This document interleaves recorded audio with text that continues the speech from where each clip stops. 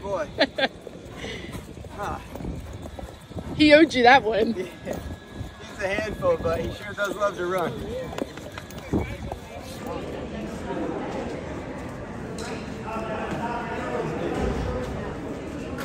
All right, Mike. One of your kids just Oh my graduated. goodness, so proud of it.